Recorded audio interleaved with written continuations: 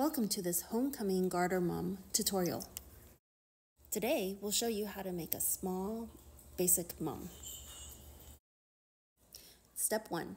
Find the round backer in the kit. All your ribbons will be stapled to this. Step 2. Staple your ribbons. First, you'd want to design your ribbon layout. Start at the middle and work your way out.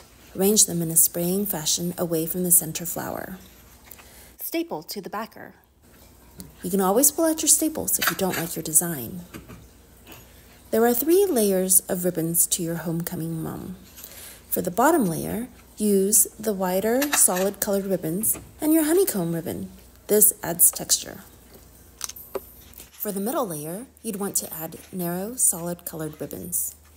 And finally, for your top layer, embellish it with printed ribbons and your silver ribbons. Step 3. Arrange the strands of garland on top of the ribbons. Staple or use the hot glue to glue it to the back. Step 4. Curling ribbons and trinkets.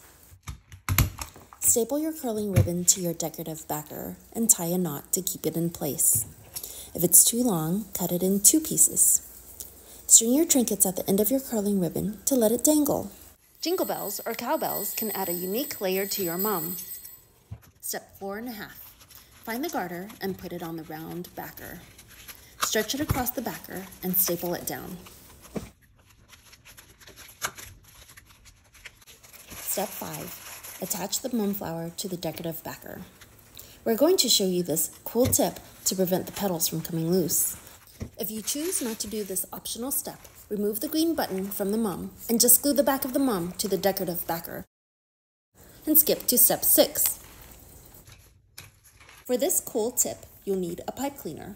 After removing the green button, insert the pipe cleaner through the hole at the back of the mum and push it to the front of the mum. Tie a knot. Pull back the pipe cleaner so it looks like a flower with a long stem. Step 6. Staple the mum to the decorative backer. Step 6.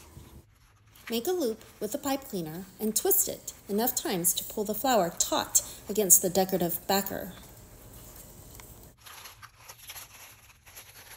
Trim the pipe cleaner if needed. Press it flat against the backer. This prevents the petals from coming loose. Step 7. Attach the plain backer to the decorative backer. Use lots of hot glue. This plain backer is important because it will hide all your staples.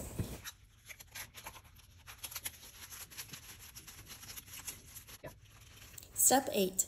Use hot glue to adhere back petals of your mum to the decorative backer. Step 9. Trim your ribbons and garlands if you have different lengths. Trim the ribbons at the bottom in the shape of an arc such that the center is longer than the sides.